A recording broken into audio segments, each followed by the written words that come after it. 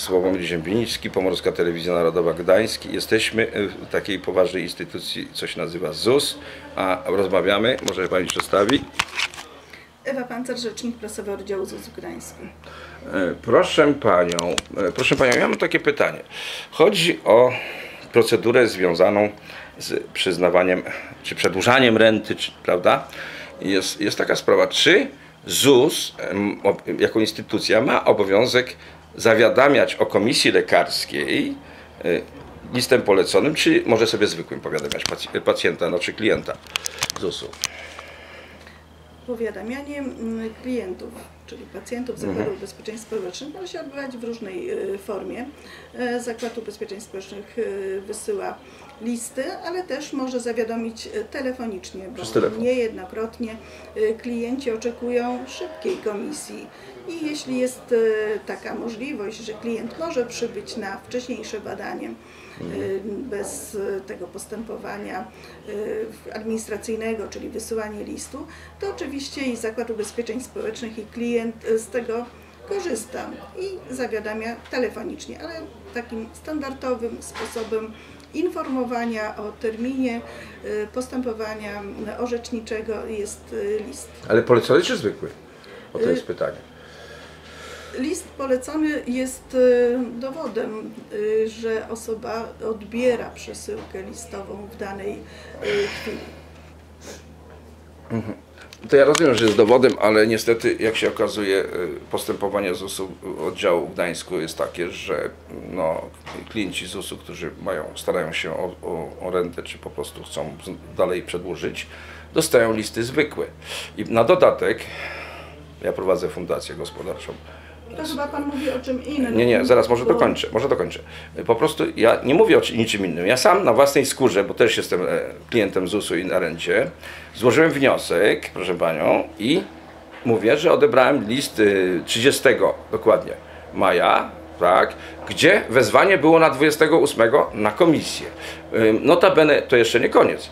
Proszę Panią, zdarzyło się coś takiego, że, dos- że dzwonię, do- bo czekałem na następną komisję, myślę, że jak na tą nie poszedłem, bo dostałem za późno, no to podobno był następny list. Dowiedziałem się dzisiaj rano na infolinii waszej, że komisję mi wyznaczono na 8, a ja jeszcze listu nie miałem w rękach.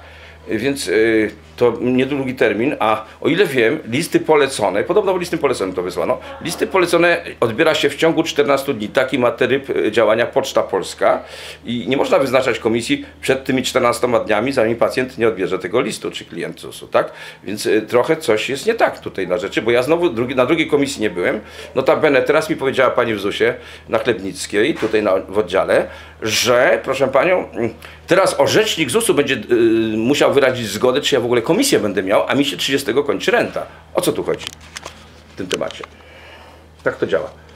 Osoby, które składają wniosek o rentę, zainteresowane są No ja jestem zainteresowany.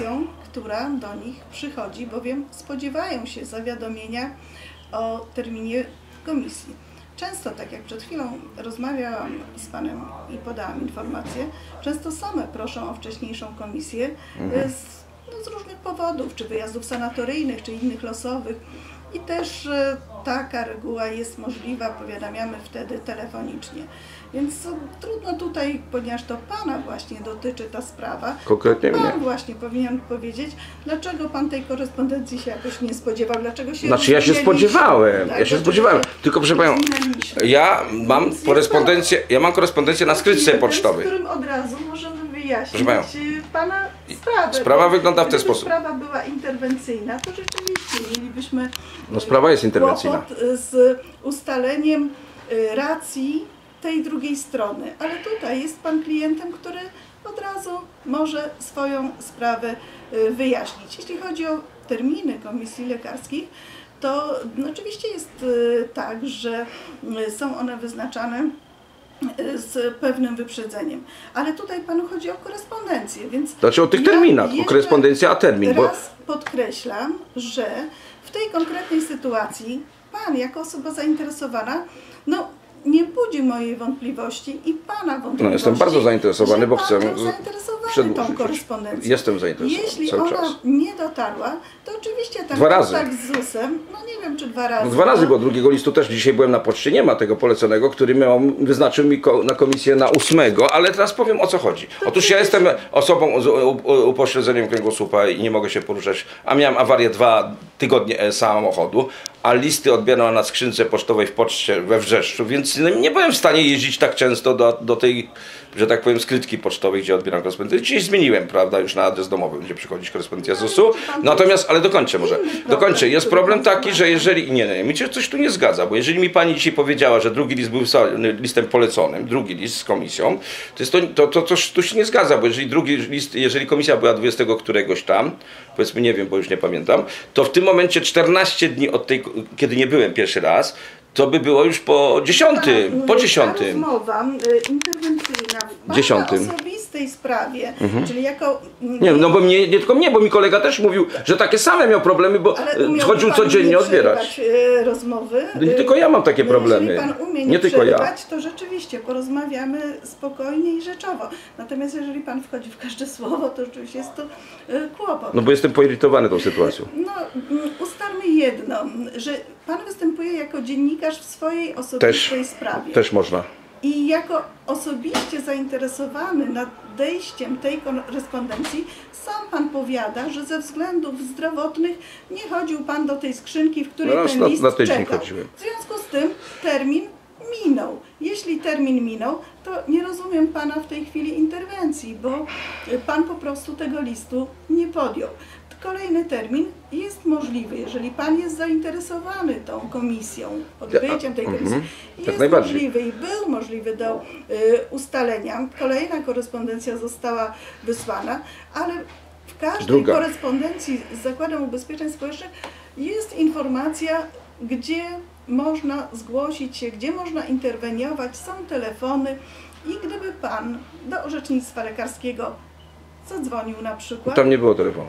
Jest. Właśnie na tym, nie, na tym to piśmie. nieprawda, że nie było. Tu Ja dzisiaj do, ustaliłem termin w ZUS-ie dopiero. Zaprzeczam, to jest nieprawda. Dobra, e, Pani To Rzecznik, ja mam jeszcze jedno pytanie. Jeszcze jedno pytanie. Mówimy- Bo, bo mi chodzi o co innego. Mi chodzi o zasadę taką, że jeżeli wyznaczono mi komisję, tak, jeżeli się wysyła tą korespondencję listem już poleconym na przykład, a uważam, że każdy list powinien być polecony w tych sprawach ważnych dla petenta, bo przedłużenie świadczenia jest bardzo ważne, bo człowiek albo będzie miał z czego żyć, albo nie będzie miał następnego świadczenia i będzie z opóźnieniem go dostawał.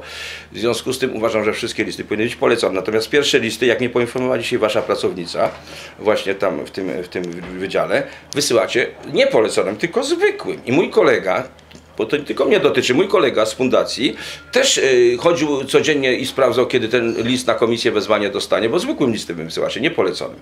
I taka jest prawda. Dlaczego nie wysyłacie poleconym tego pierwszego wezwania? Nie zgadzam się Tak mi powiedziano. Nie zgadzam się z tym, co Pan mówi, bo jeszcze raz ustalamy fakty. A fakty są takie, że osoba, która składa wniosek, jest zainteresowana otrzymywaną z zakładu korespondencją. I jak sam Pan powiada, z tej skrzynki Pan tej korespondencji. Znaczy odebrałem 30, a na 28 było wezwanie. Czyli Pan Dwa dni po terminie odebrałem. ze skrzynki nie podjął ze względów, o których Pan No bo nie mogłem dojechać. powiedział. Jeżeli jest taka sytuacja, to trudno powiedzieć, że Zakład Ubezpieczeń Społecznych nie dopełnił jakichkolwiek starań, żeby Panu tą komisję wyznaczyć i żeby Pan przybył. Dobrze jest, że Pan interweniuje we własnej dziennikarskiej sprawie, bo gdyby było tak, że jest to sprawa innej osoby, trudno by było nam w tym momencie ustalić fakty. A tak ustalamy fakty. Korespondencja była wysłana, Pan jej nie podjął ze względów, jak Pan powiada, zdrowotnych. Jest ustalona następna komisja. Jeżeli ten termin z jakichkolwiek Znaczy nie jest ustalona, właśnie dlatego tu przyszedłem, bo- nie, nie, nie, nie, nie, to stop, stop, stop. Nie- nie ma- nie ma komisji następnej. Ubezpieczeń Społecznych o wyznaczenie tego terminu, który Pan będzie y, mógł, y, którego Pan będzie mógł dotrzymać i to jest możliwe. Natomiast Pan Muszę sprostować, pani mówi nieprawdę. Pani mówi nieprawdę. Proszę panią, nie ma następnego terminu komisji. Dzisiaj byłem w ZUS-ie na Chlebnickiej. To pan mówi i- nieprawdę. no, więc ja mówię, że- ale chwileczkę, dokończę. Byłem dzisiaj na Chlebnickiej i prosiłem o podanie mi terminu następnej komisji. Chwileczkę. Pani powiedziała, że e, za, połączyła mnie tam z telefon, na, te, na telefon, który tam, tam decydują. E, I ta pani powiedziała, że teraz nie będę mógł mieć drugiej komisji, dopóki orzecznik, i musiałem pytanie pisać, dopóki orzecznik nie wyrazi zgody, bo mogą od nowa wznowić całą procedurę. Tak mi powiedziano, dlatego mnie to martwi, bo ja mam 30 koniec renty i mogę nie dostać dalszego świadczenia później, ponieważ orzecznik jakiś główny ZUS-u ma w tej chwili zdecydować, czy będzie ta komisja, czy nie, bo ja nie mam wyznaczonej tej, na dzisiaj nie mam żadnej komisji wyznaczonej, jeszcze raz powtarzam. Pani- Aktualnie Pan, nie mam. Pan oczywiście potwierdza swoje I to i mam obawy, mam obawy. działanie, działanie, gdzie pan na tą komisję po prostu nie przychodzi, bo nie odbiera pan korespondencji. Jak nie wiem, to nie przyjdę. jest to, co pan mówi, że termin komisji nie został Nie został. ustalony, Dzisiaj na dzisiaj na trzeciej Bo- komisji nie ma. Na dzisiaj nie ma. Bo Przepraszam, ja mówię teraz, na dzisiaj nie mamy komisji ustalonej. List został do pana wysłany, którego pan też nie odebrał. I powiedziałam panu, gdyby pan mnie nie zagłuszał, to pan by to słyszał, że można ustalić kolejny termin, o ile pan się zgłosi i to pan zrobi. Ja się zgłosiłem. Oczywiście. No i kończy się sprawa. Pana sprawa została w 100% według wszelkich procedur, o które pan pyta, załatwiona. I ja wyjaśniam panu bez żadnego przygotowania czy wglądu, bo regułą dziennikarską jest to, że jeżeli pan interweniuje w swojej osobistej dziennikarskiej sprawie, to pan informuje mnie minutę, dwie, pięć minut przedtem, że pokazuje Pan jakiś temat, do którego ja mam tam się odnieść za te 5, 10 czy 15 minut. Natomiast tutaj ja nie miałam ani chwili e, do odniesienia się, natomiast w bezpośredniej rozmowie w 100% i mam nadzieję, że bez jakiejkolwiek e, przerwy czy zmiany tej wypowiedzi, ta wypowiedź trafi do mediów. Oczywiście, nie kasuję. E, Proszę Panią, ja chciałem tylko powiedzieć, że według mnie ta sprawa jeszcze do końca nie jest załatwiona. Ja będę się czuł bezpiecznie, jak komisja się odbędzie. Dopóki ja nie będę na komisji, to ja ciągle uważam, że ZUS jeszcze mnie po prostu nie załatwił sprawy. Oczywiście Pan nie załatwił e, tego, czego Pan powinien dotrzymać, czyli Ja zmieniłem adres, adres korespondencji. Zmieniłem, bo teraz już do domu będzie szło. korespondencję. Będzie do domu szło. Oczywiście pan Teraz będzie lepiej. spowodował tą sprawę bardzo fajnie medialną, ale jak pan widzi, ZUS i w takich sytuacjach ma procedury, które sprawią, że pan będzie obsłużony w 100%, nawet jeśli pan nie odbierał tej korespondencji. Dobrze, ale Jest mam- droga otwarta. Mam pytanie jako, jakby to w imieniu innych klientów ZUS-u, którzy mają podobne sytuacje. Czy nie uważa Pani, że e, pierwszy list wezwania na komisję nie powinno być drogą listu poleconego, a nie zwykłym listem? Bo tak mi powiedziała Pani, że pierwszy list zwyczajowy wysyłacie e, na pierwszą komisję bez listu poleconego, tylko listem zwykłym. Czy to jest właściwa procedura? O to mi chodzi. Wracamy do tematu, od którego zaczęliśmy naszą rozmowę. Y, Dwie strony są zainteresowane tym, żeby y, to spotkanie się odbyło. Wnioskodawcą jest klient i on czeka na list, oczekuje go. A i- jeszcze raz podkreślę, nie jeden raz się zdarza, że klient otrzymuje taki termin, który jest dla niego odpowiedni, wcześniejszy w tym telefonicznym uzgodnieniu. A przez telefon też można wesłać na komisję? Oczywiście, że można. Można. Jest to wola, zgoda tej drugiej strony, a często oczekiwanie. Więc można. Oczywiście ten tryb y, KPA, który stosujemy, jest tym mm, trybem urzędowym, niemniej jednak klient jest dla nas najważniejszy i dla klienta y, te mm, uzgodnienia, których on sobie życzy, o ile są możliwe do spełnienia, y, spełniamy. I tu nie ma ani w procedurach, ani codziennym postępowaniu jakiejkolwiek, e, jakichkolwiek uchybień. I w Pana przypadku też. Także na No pewno to- się spotkamy na komisji, na pewno Pan tą korespondencję albo odbierze, Albo zadzwonią. albo uzgodni telefonicznie termin swojej wizyty i wszystko odbędzie się tak jak trzeba. A ja uważam, że w momencie, kiedy pierwszej komisji nie stawiłem się, to powinien być do mnie telefon wykonany. Zapytanie, dlaczego pan nie był, albo coś się stało.